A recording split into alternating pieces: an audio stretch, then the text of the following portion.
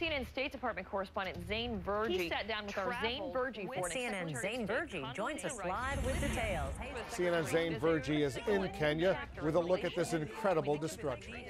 It's a historic sit down, and CNN has exclusive access. Our State Department correspondent Zain Verjee is live for us this morning in Tripoli.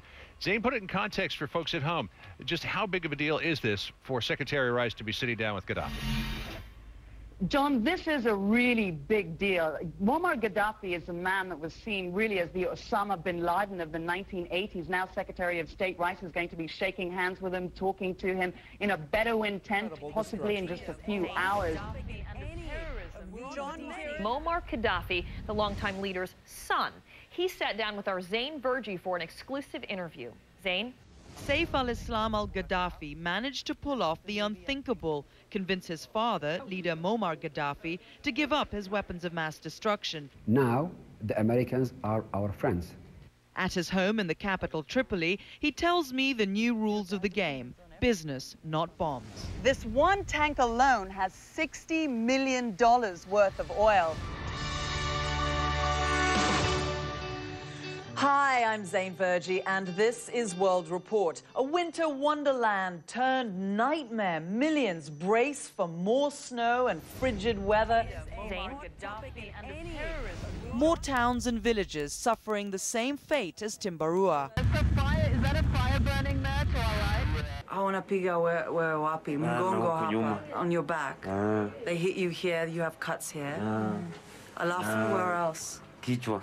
At 3 o'clock in the morning, this town's neighbors of a different tribe came in and set this place on fire. We're now landing in Timboroa. As we've come here, we've seen areas that are completely devastated, homes burnt down. Both sides are telling us how much they hate each other and, in many instances, that they want revenge.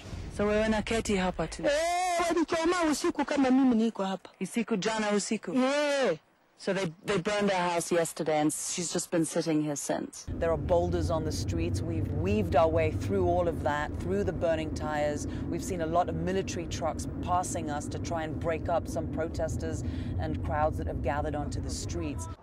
Barack Obama is Kenya's favorite son, probably more than any other country in the world. If you have one message today for Barack Obama, what would it be? We wish him best of luck to win in USA so that we can have power also in Africa. Wolf? Zain Verjee uh, doing some outstanding reporting for us in Kenya. live with details. Hey, If you have ever wanted to walk right at the bottom of the deepest ocean, you can do it here in Oman.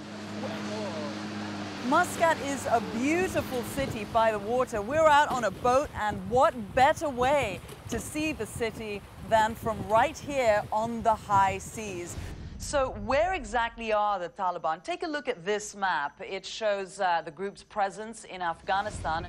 I see women that are struggling with the most fundamental human rights around the world. Ladies and gentlemen, it's time for a new segment on the program. It's called CNN News with Tude. Now, do you know what Tude means? I think it's short for attitude. That's exactly right. Researchers say the fabled luxury liner may have sunk faster than previously thought. Look, it hit an iceberg and sank. Get over it. Wolf? Wow. Wow, that seems kind of harsh, doesn't it? Get over it. 1,500 people drowned. Get over it. I asked Benazir Bhutto if she knows the dangers, why take the risk? I'm taking the risk in facing uh, the dangers in my country because I believe that all the children of Pakistan are as dear to me as my own children. They are directing their anger to President Musharraf, saying that he just did not organize the kind of security that Benazir Bhutto needed. In just over two weeks, Afghan voters will head back to the election booth to choose a president.